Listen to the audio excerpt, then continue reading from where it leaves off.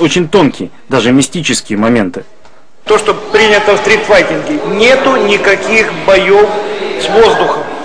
То есть условные бои с воздухом, ну, если честно, разбираться более в тонких материях, это вызывать демона. То есть вы не знаете, с кем вы деретесь, вы что-то материализуете, и потом это что-то, вы его уже перестали бить, а оно вас всю жизнь... Оно вас на улице взяло и догнало. Поэтому надо бить или снаряды, или работать с партнером. Все.